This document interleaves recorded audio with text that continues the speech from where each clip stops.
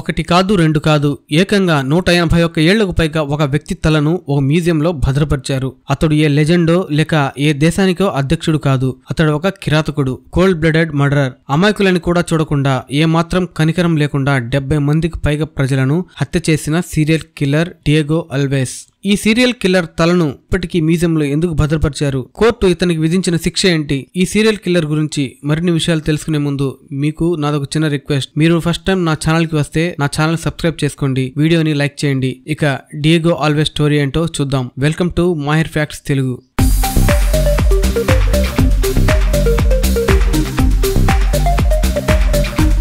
ఇతని పేరు Diego always పద్దెనిమిది వందల పదిలో స్పెయిన్లోని గలేషియాలో జన్మించాడు. డియేగో తండ్రి ఒక రైతు. దూర ప్రాంతాలకు వెళ్ళటానికి ఇంట్లో వీళ్ళకి ఒక గుర్రం ఉండేది. ఒకసారి డియేగో గుర్రంపై నుండి కింద పడి తలకు బలమైన గాయమైంది. పంతొమ్మిది ఏళ్ళ వయసులో డియేగో తండ్రి అతని పని కోసం పోర్చుగల్లోని లిస్బన్ నగరానికి పంపాడు. కొంతకాలం డియేగో పని కోసం వెతికాడు కానీ అతనికి ఎక్కడా పని దొరకలేదు. పని దొరికినా ఎక్కువ కాలం ఉండలేదు. ఆ తర్వాత అక్కడ స్థానికంగా ఉండే ఒక దొంగల ముఠాతో డియేగోకి పరిచయం అయింది. వారితో కలిసి దారి దోపిడలకు పాల్పడేవాడు. అలా వచ్చిన డబ్బుతో జల్సాగా గడిపేవాడు. మద్యానికి బానిసయ్యాడు. తల్లిదండ్రులకు ఉత్తరాలు రాయడం కూడా మానేశాడు. డియేగోకు ఈ డబ్బు సరిపోలేదు. మరింత సొమ్ము సంపాదించాలని నిర్ణయించుకున్నాడు. దీనికోసం రైతులనే టార్గెట్గా చేసుకున్నాడు. వారి కోసం రాత్రిళ్ళు ఓ బ్రిడ్జి దగ్గర కాపు కాసేవాడు. ఒంటరిగా అటువైపు ఎవరు వచ్చినా వారిని దోచుకొని ఆ తర్వాత వారిని చంపేసి శవాలను బ్రిడ్జిపై నుంచి నీళ్ళలోకి పడేసేవాడు. ఆధారాలు దొరకకుండా జాగ్రత్త పడేవాడు. ఆత్మహత్యగా చిత్రీకరించేవాడు. మొదట్లో బ్రిడ్జి కింద దొరికిన మృతదేహాలు రైతులు ఆత్మహత్యలు చేసుకుని చనిపోయి ఉంటారని పోలీసులు అనుకున్నారు. హత్య అనటానికి ఆధారాలు లేకపోవడంతో పోలీసులు ఆ వైపుగా ఇంట్రాగేషన్ చేయలేదు. హత్య చేసేటప్పుడు వారి అరుపులు విని డియోగో ఎంతో ఆనందించేవాడు. అమాయకులను చంపటంలో పైశాచికత్వం చూపేవాడు. డియోగో హత్యల సంఖ్య పెరుగుతూ ఉండటంతో పోలీసు పోలీసులకు అనుమానం వచ్చింది.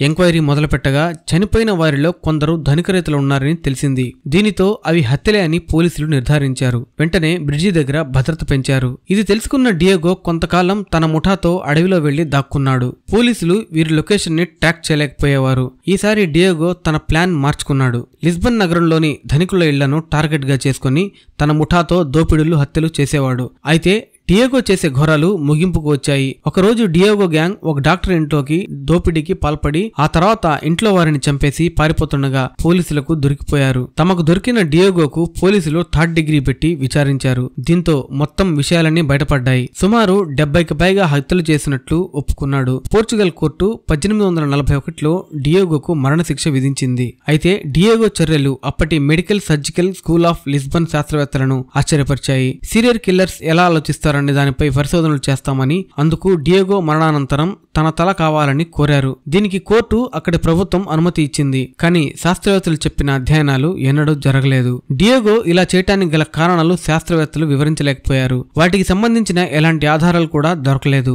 తెగిపడిన తల ప్రస్తుతం లిస్బన్లోని యూనివర్సిటీ ఫ్యాకల్టీ ఆఫ్ మెడిసిన్లో అనాటమికల్ థియేటర్లో ఒక గాజు పాత్రలో ఫార్మాల్డిహైడ్ యాసిడ్లో భద్రపరచబడి ఉంది. పద్దెనిమిది వందల నలభై ఒకటి నుండి ఇప్పటికి సుమారు నూట ఎనభై ఒక ఏళ్ళుగా డియోగో తలను కెమికల్స్ నిండిన ఓ సీసాలో జాగ్రత్తగా భద్రపరిచి ఉన్నారు. ఇంతకంటే దారుణమైన ఘటనలు మన దేశంలో జరుగుతూనే ఉన్నాయి. ఢిల్లీలో మే పద్దెనిమిది రెండు వేల ఇరవై రెండులో జరిగిన శ్రద్ధావాకర్ కేసే దీనికి ఉదాహరణగా చెప్పొచ్చు. ఈ వీడియో మీకు నచ్చితే ఒక లైక్ చేయండి. నా ఛానల్ సబ్స్క్రైబ్ చేసుకోండి. నెక్స్ట్ వీడియోలో మరొక ఇంట్రెస్టింగ్ టాపిక్తో మళ్ళీ కలుద్దాం. Thank you